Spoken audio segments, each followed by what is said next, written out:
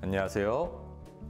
피부과 전문의 심현철입니다. 자, 색소 상담을 하다 보면 레이저 토닝을 하면 피부 얇아지나요? 라는 질문이 많이 나옵니다.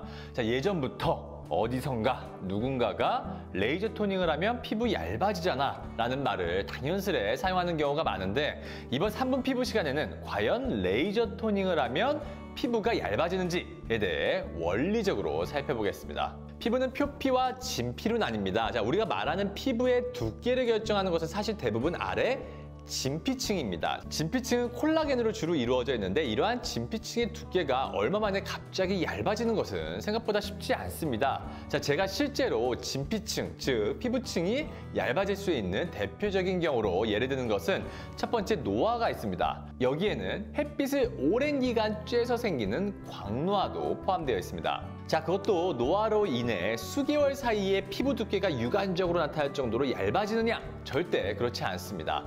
자, 두 번째는 강한 스테로이드를 장기간 도포하는 경우입니다. 자, 이것도 심한 습진 때문에 막 어느 정도 강도가 있는 스테로이드를 수일 정도 바른다고 절대 진피층이 얇아질 정도의 영향을 주지는 않습니다. 그러면 레이저 toning의 원리는 무엇이냐? 자, 레이저 toning이라고 하는 것은 레이저를 사용해서 톤을 균일하게 한다는 것인데 자, 첫 번째는 낮은 출력으로 두 번째는 깊이 들어가는 파장대로 세 번째 횟수를 여러 번에 걸쳐서 치료하는 방식이 레이저 토닝이라고 생각하시면 됩니다. 저출력으로 횟수를 여러 번에 걸쳐서 진피층의 콜라겐을 자극하면 오히려 섬유 아세포를 자극해서 콜라겐 생성을 증가시킬 수 있습니다. 콜라겐 생성이 증가되는데 피부가 얇아지지는 않겠죠. 자, 근데 아니땡골뚝이 연결하지는 않기 때문에 분명 레이저 토닝을 했는데 피부가 얇아진다는 느낌이 든 사람들이 있으니 이런 이야기가 떠돌아다니는 것으로 생각됩니다. 자, 크게 두 가지 이유 때문인데 첫 번째는 홍조, 즉 붉음증의 발생입니다. 레이저 toning도 제가 저출력 방식이라고 이야기는 하지만 색소의 종류에 따라서 시술자의 의지에 따라서 어느 정도 고출력으로 치료할 수 있습니다. 자, 이때 레이저 toning에 주로 쓰이는 1064나노미터의 파장대를 내는 Q-switch Nd:YAG 레이저 형태의 경우 단순히 멜라닌 색소만 자극을 주는 것이 아니라 혈관을 자극할 수도 있고 주변에 열 에너지가 가해지면서 생기는 현상들로 붉음증이 발생이 될 수 있습니다. 자, 그래서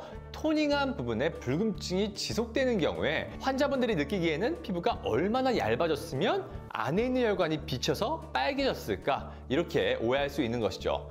자, 두 번째는 피부 장벽이 손상된 경우입니다. 자, 이러한 경우에 앞에서 말한 홍조 불금증 발생이 생길 수 있으므로 앞의 내용과 완전히 다른 내용은 아닙니다. 레이저 토닝의 원리가 저출력으로 긴 파장으로 표피의 손상을 최소화해서 들어가는 것이 원리이긴 하지만 피부 장벽이라는 우리의 방어막은 피부의 가장 바깥층에 존재하는데 색소의 종류와 시술자의 선택에 따라서 에너지를 높여서 들어가는 경우 어느 정도 이 장벽 손상이 일시적으로 있을 수 있습니다. 그래서 보통 레이저 토닝 때 보습 관리가 같이 포함되는 경우들이 많은데 자, 이런 일시적인 장벽 손상은 보통 금방 회복이 됩니다. 자, 하지만 첫 번째, 뭐 원래 아토피, 홍조, 건조증과 같은 피부 장벽에 손상이 있었거나 두 번째, 레이저 출력이 너무 높게 들어가는 경우 이러한 다이아몬드보다 중요하다라고 하는 피부 장벽이 손상받게 됩니다.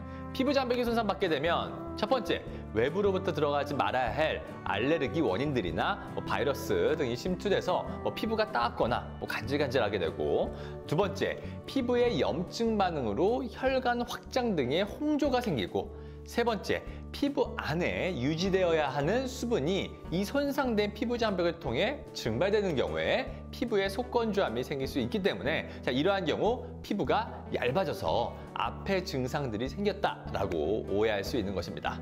자, 지금까지 연세도세 피부과 원장 심현철이었습니다. 감사합니다.